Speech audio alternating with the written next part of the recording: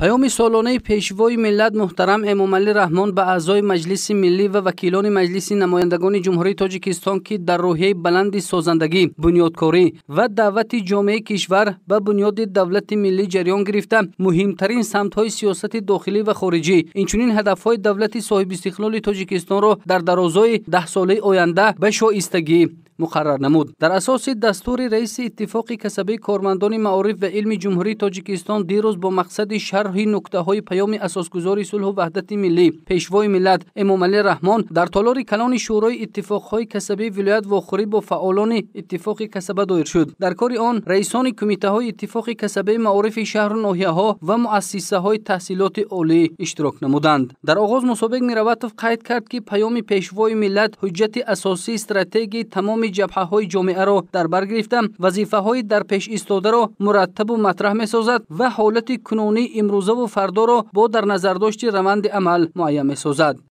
Дар ин паём чихел ки худ э, огоҳ ҳастем бениҳоят аҳамияти бузург додан ба самти маориф зеро ояндаи э, чихел ки медонем ояндаи ҳар миллат ҳар ҷомеа ин аз маориф вобаста аст.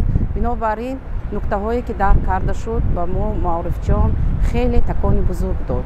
Ҳамчунин чанд тан аз фаъолони иттифоқи касаба аз ҷумла маҳкамов саидқул амонов аминҷон абдураҳмонов аҳлиддин ва чанде аз донишҷӯёни фаъол оид ба нуктаҳои паёми пешвои миллат баромад намуданд.